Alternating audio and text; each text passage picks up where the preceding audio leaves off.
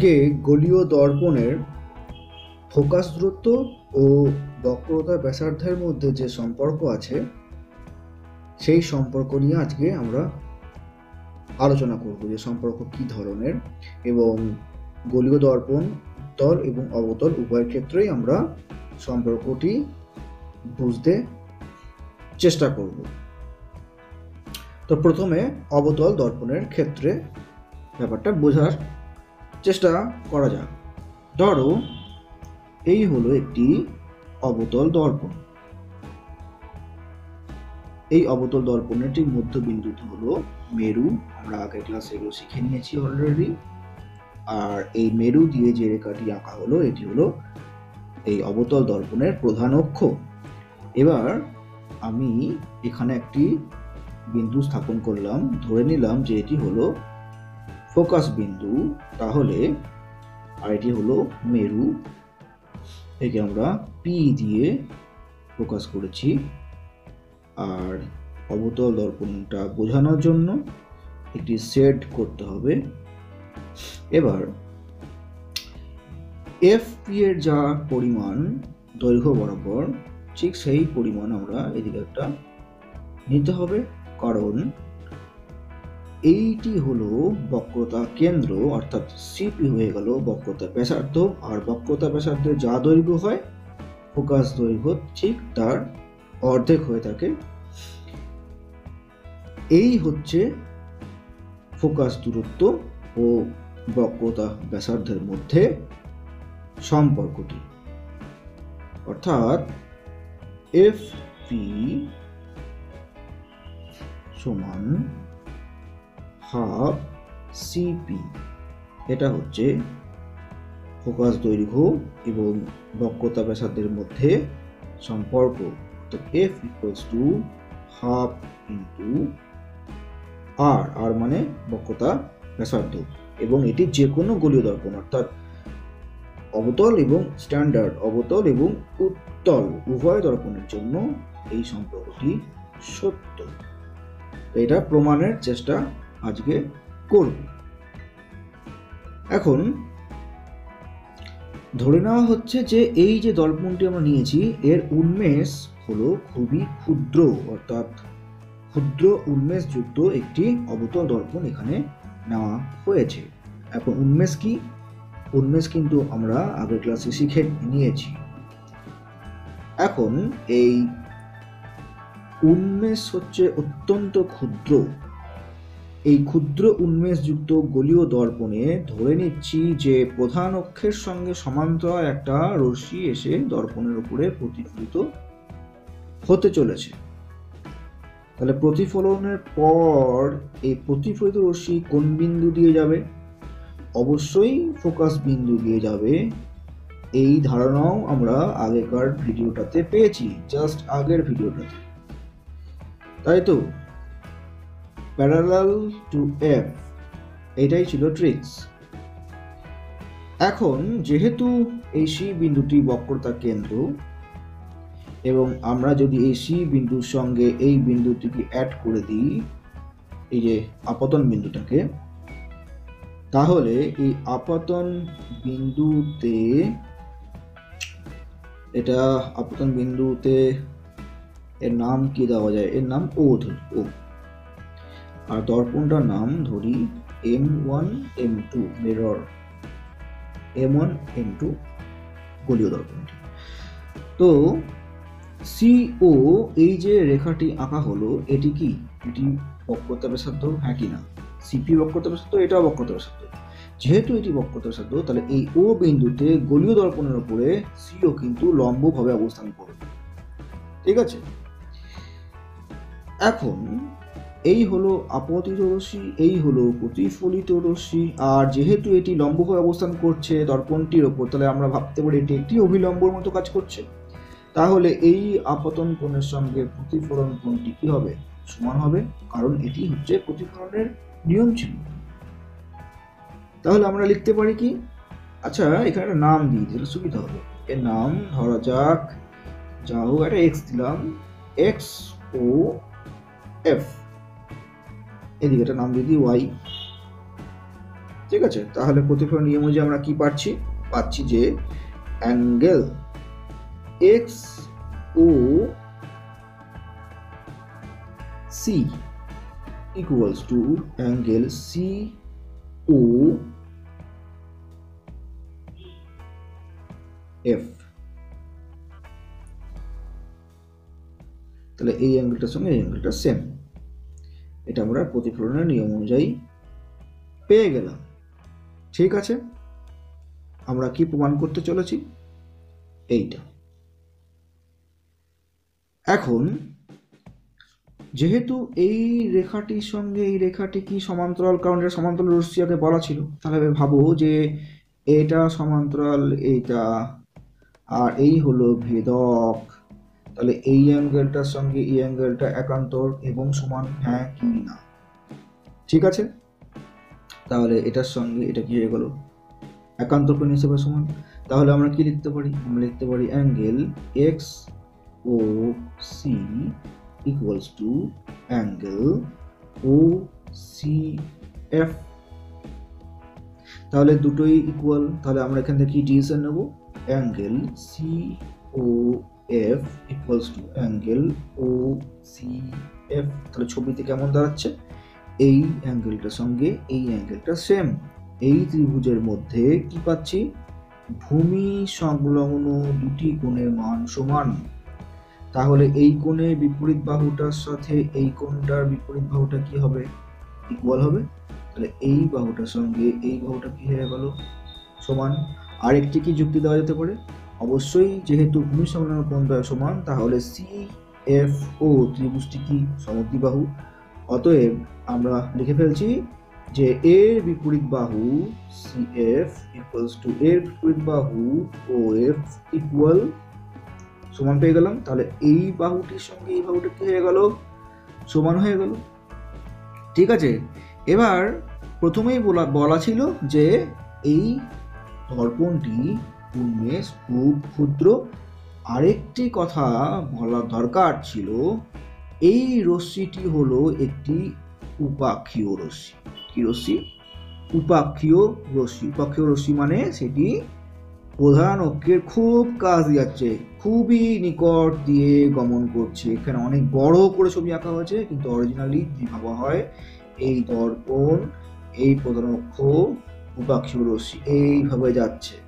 যদি বলা হয়, তাহলে এই যে জায়গাটা, এই জায়গাটা খুব কাছাকাছি, খুবই কাছে অবস্থিত, তাহলে আমরা বলতে পারি যে, আমরা কি বলব যে, এই ও বিন্দুটা আর পি বিন্দুটা অত্যন্ত কাছে আছে। অর্থাৎ এই এফ ও দূরত্ব আর এফ থেকে পি এর দূরত্ব প্রায় সমান। যেহেতু উপাক্ষীয় রশ্মি ঠিক আছে, যেহেতু এক্স ও উপাক্ষীয় রশ্মি তাহলে এফ ও এফ ও এবং এফ পি ভীষণ, ভীষণভাবে নিকটে আছে। তাহলে যদি ভাবা যায়, এই যে এইটা এর খুব কাছে আছে, তাহলে প্রায় ইকুয়াল মানে আমি যদি ভাবি যে এইখানে আছে এফ এখানে আছে ও আর এখানে আছে পি তাহলে এই যে দাগটা টানা হচ্ছে এই দাগটা আর এই দাগটা প্রায় সমান। প্রায় সমান। এখানে তবুও গ্যাপ আছে, রশ্মির ক্ষেত্রে এই গ্যাপটা থাকবে না, এটা আরও কাছে। আরও কাছে। তাহলে কি হবে? ইকুয়ালি হয়ে যাবে। যেহেতু, তাহলে আমরা বলতে পারি যে ও এফ ইকুয়াল টু আমরা বলতে পারছি যে O F equal to F P উপাক্ষীয় রশ্মির জন্য ঘটনাটা ঘটছে। তাহলে এখন এই দুটো থেকে আমরা কি ডিসিশন নেব? C F equals to O F O F equals to F P তার মানে C F equals to F P তাহলে C F equals to F P হয়ে যায়, তাহলে এফ কি হয়ে গেল? সিপির মধ্যবিন্দু, ছবিতে কোথায়? সিপির মধ্যবিন্দু এফ হয়ে গেল কিনা? হ্যাঁ কিনা। হয়ে গেল, তাহলে এফ হয়ে গেল সিপির মধ্যবিন্দু। ঠিক আছে? যেই এটা মধ্যবিন্দু হয়ে গেল তখন আমরা বলব যে F P equals to C P by two অর্থাৎ এফ কে যদি বলা হয় ছোট হাতের এফ ফোকাস দৈর্ঘ্য এটা হয়ে গেল বক্রতা ব্যাসার্ধ আর বাই টু এই হয়ে গেল প্রমাণ জ্যামিতির দিক থেকে। ঠিক আছে? অবতল দর্পণের ক্ষেত্রে আমরা এইভাবে প্রমাণটি করে ফেলতে পারি। এখানে সম্পূর্ণ প্রমাণটি একটি নীতির উপর দাঁড়িয়ে থাকল। কি নীতিটা? এই জায়গাটা। এটা কখন ঘটবে? এটা উপাক্ষীয় রশ্মি এবং তার সাথে সাথে দর্পণটি ছিল ক্ষুদ্র উন্মেষ যুক্ত যার জন্য যার জন্য কি হলো? যার জন্য এই ও এবং এফ খুব কাছাকাছি হয়ে গেল। ঠিক আছে? ফলে ঘটনাটা ঘটে গেল। অর্থাৎ F equals to R by two গলীয় দর্পণ ক্ষেত্রে বা এই ক্ষেত্রে আমাদের আজকে প্রমাণটা হচ্ছে অবতল দর্পণ। অবতল দর্পণের ক্ষেত্রে F equals R by two ঘটনাটি সত্য হবে কখন? এটি সত্য কখন? যখন দর্পণটি হচ্ছে নাম্বার ওয়ান ক্ষুদ্র উন্মেষে থাকবে, ঠিক আছে? আর কি? উপাক্ষীয় রশ্মি দ্বারা ঘটনাটি ঘটবে। উপাক্ষীয় রশ্মি দ্বারা ঘটনাটি ঘটছে। আর ক্ষুদ্র উন্মেষযুক্ত গলীয় দর্পণ সেক্ষেত্রে F equals to R by two ঠিক আছে? এখন উত্তল দর্পণের ক্ষেত্রে ঘটনাটি ঠিক কি ধরনের? প্রমাণটা কি উত্তল দর্পণের ক্ষেত্রে করা সম্ভব? একবার চেষ্টা করা যাক। একটা উত্তল দর্পণ প্রথমে এঁকে ফেলি। ঠিক আছে? তো এই হচ্ছে একটা উত্তল দর্পণ আঁকা চলছে। এই হলো প্রধান অক্ষ এটা হচ্ছে মেরু পি আমি যে কোনো একটা জায়গায় এফ লাগিয়ে দিলাম। এটা উত্তল দর্পণ, তার মানে এরকমই সেট হবে। আর তাহলে রশ্মি আসছে এই সাইড দিয়ে। আর এই পিএফ যা দৈর্ঘ্য আমি একটা মোটামুটি সি লাগিয়ে দিলাম। কেন্দ্র। একটি রশ্মি এই এসে পড়ল। সমান্তরাল। ভেবে নিতে হবে সমান্তরাল। খাতাতে তোমরা প্রত্যেকটা ছবি স্কেল পেন্সিল ইউজ করে করবে, আমার মতো রাফ হ্যান্ডে করলে হবে না। ঠিক আছে? এবার এই রশ্মিটা এসে পড়ে যায় এখানে। তো এই যে যেখানে পড়ল, এটা আপতন বিন্দু হলো হ্যাঁ কি না? আপতন বিন্দু একটা নাম দেওয়া যাক, আগের মতো করে ও লাগিয়ে দিলাম আর এই বিন্দুটার নাম ছিল আগের ছবিতে এক্স তাহলে এটা এক্সই থাকল। আচ্ছা এবার এটা যেহেতু প্রধান অক্ষের সঙ্গে সমান্তরাল, তাহলে ভেবে নিতে হবে কি এটা এফ থেকে অপসারিত হচ্ছে, অর্থাৎ এই লাইন বরাবর অপসারিত হচ্ছে, তার মানে এই দিক দিয়ে বেরিয়ে যাচ্ছে। ঠিক আছে? এই বেরিয়ে যাচ্ছে। রশিটা এক্স ও দিয়ে গিয়ে এই সাইড দিয়ে চলে গেল। চলে যাওয়ার রশিটার নাম ছিল ও ওয়াই তাই তো? চলে যাওয়ার রশির নাম ছিল ও ওয়াই আবার যেহেতু এটা একটি ক্ষুদ্র উন্মেষযুক্ত উত্তল, এটাও ক্ষুদ্র উন্মেষযুক্ত উত্তল দর্পণ, আমরা এটার নাম এম ড্যাশ দিয়ে দিচ্ছি। এম এম ড্যাশ তো ক্ষুদ্র উন্মেষ, এটাও ক্ষুদ্র উন্মেষ, এবং এই রশ্মিটা উপাক্ষীয় রশ্মি সেম একই আর্গুমেন্ট তাহলে ওর সঙ্গে সি যদি যোগ করি, সেটি কিন্তু দর্পণের সঙ্গে লম্ব হয়ে থাকবে। তাহলে অর্থাৎ বক্রতার শব্দটি লম্ব হয়ে থাকবে। আর যেহেতু লম্ব হয়ে থাকবে, তাই কি হবে? তাই ওসিকে আমরা ভাববো একটি অভিলম্ব। যেহেতু এটা অভিলম্ব হয়ে গেল, তাহলে আপাতন কোণ আর প্রতিফলন কোণ দয় কি? সমান। ঠিক আছে? সমান হয়ে গেল। এবার এটাকে একটু টেনে একটু বোল্ড করে দিচ্ছি যাতে দেখতে সুবিধা হয়। তাহলে আপাতন কোণেরকে আই আর প্রতিফলন কোণকে যদি আর বলা হয়, তাহলে এটা যদি আই এটা আর হয়, তাহলে এবার এই যে লাইনটা আছে, এই লাইনটা আর এই লাইনটা, ভালো করে খেয়াল করতে হবে। এই ক্রস হচ্ছে কিনা বলে ডাইরেক্ট ক্রস আর কি না, কাটাকুটি, এরকম আর এরকম, বুঝছ তো? এই আর এই, তাহলে এই অ্যাঙ্গেলটা আর এই অ্যাঙ্গেলটা কি? বিপ্রতীপ তাহলে সমান, অর্থাৎ এইটা যদি আর বলা হয়, তাহলে এখানে এইটা কি? আর হচ্ছে, ঠিক? আর হচ্ছে, তাহলে এবার আমরা কি লিখব? একই রকম আর্গুমেন্ট অ্যাঙ্গেল কি অ্যাঙ্গেল